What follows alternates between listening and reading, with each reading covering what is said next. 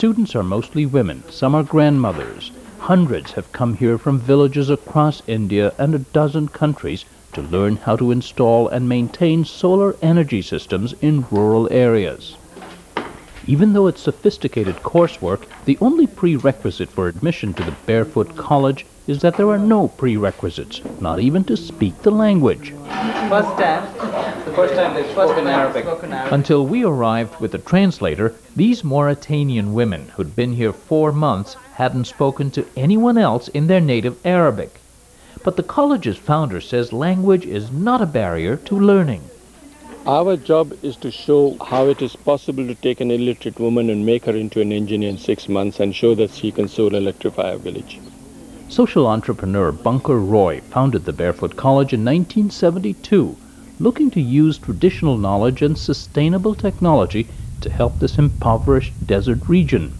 It began with basics, like finding safe drinking water, then a few years later, solar. In 1986, no one ever thought of solar electrification. It was far too expensive. But today, we have 50 kilowatts of panels on our roofs. All our 20, 30 computers, electronic machine, telephone exchange, all works off solar.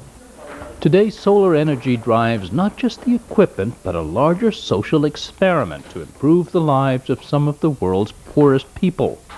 It begins in the classroom, run by instructors who themselves have little or no formal education. Instruction is delivered with a mix of body language, a few essential terms in English, and a lot of hands-on practice. The students create an illustrated manual they'll take home. It's the closest thing to a diploma certifying their training as solar technicians. But just coming here is an unlikely achievement for students like 56-year-old Sarka Musara, a widowed grandmother. She'd never attended school before, never even left her village in the West African nation of Mauritania. At first, we did not even have a passport. We started little by little learning the solar energy system. Day by day and little by little, we were able to put things together. I have been to two villages in Mauritania. Roy was educated at elite schools on a path to medicine or diplomatic service before he founded the Barefoot College. The idea of self-reliant learning was inspired by Mahatma Gandhi, also by a legendary American. Well, it's Mark Twain who said, never let school interfere with your education. School is something that you learn reading and writing. Education is what you learn from the family, from the environment, from the community. Using grants from the UN and private foundations, Bunker Roy travels extensively in developing countries seeking potential students. The ones he does not want are city dwellers and, unless they're physically handicapped, men. We've come to the sad conclusion men are untrainable. They expect too much. They're restless. If they're young, they're impatient. The first thing they ask even before the training starts is, do I get a certificate? They will use that certificate to get the worst job possible in a city. Whereas if we take uh, middle-aged grandmothers to be trained, I don't have that problem of migration. Women not only don't leave their rural homes, they also more reliably bring money back to their families, says Sarka Musara. When women work, there is at least food and something to drink to take care of the family. And we can even get our hair done with the extra money. But when a man works, maybe he will bring home money and maybe he won't. How many houses are in the town? 500. Their villages in Mauritania, like much of the rural developing world, are not electrified. May God reward you for what you have done, because those people did not have any light, and now they will have light. And these women will have an income, installing and maintaining solar systems. They are a common sight in villages near the Barefoot campus, replacing dirtier and more expensively fueled lanterns. We said you should pay as much as you pay today for kerosene, for wood, for batteries, for torches, for candles. Comes to about $5 a month. They're willing to pay $5 a month for the use of the solar light. Solar has opened new opportunities for work and study, especially for girls.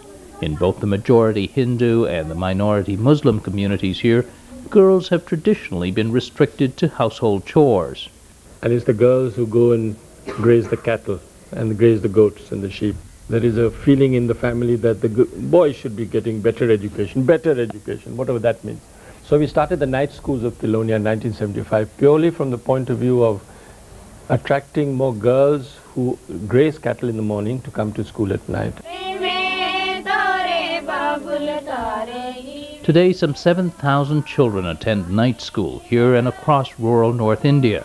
In song, these girls plead to their parents to allow them to study, to delay marriage until they turn the legal age of 18, a law that's frequently ignored in rural society. I found the college. Okay, 8 and 5 make how much? 13. 10 plus 3? 13. Entertainment programs promote the Barefoot College and encourage children to attend school. There have also been campaigns to promote public health and accountability from government officials. New economic activity and technology seem to be eroding social barriers.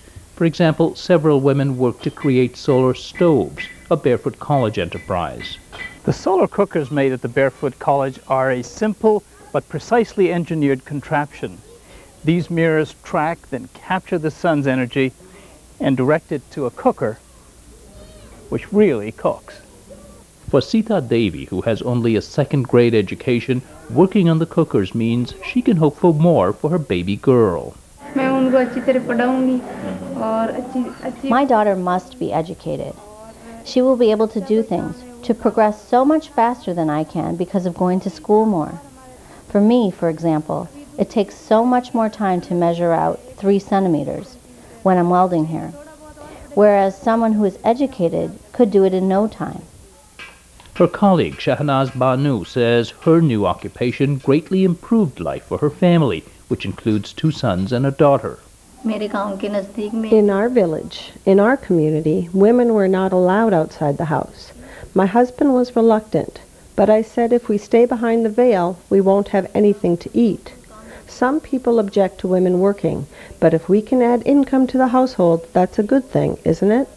Roy says a key to sustaining rural jobs and development is to use technology that can be managed by the local community, like solar lanterns, and technology that's familiar, like rainwater collectors. That was an idea developed by a rural architect who could neither read nor write, who designed the Barefoot College's green campus. The foundation of everything Roy does is decentralization. It's a departure from the typical approach of aid agencies, which he says want to bring big infrastructure and ideas created by outside experts. Any technology that, that brings in dependency on anybody on outside is not a technology that will work. So far, the Barefoot College has solar electrified some 350 villages across India and dozens more in sub-Saharan Africa and even war-torn Afghanistan. You can learn more about Barefoot College and similar projects in social entrepreneurship on our website. Just go to pbs.org and then scroll down to NewsHour Reports.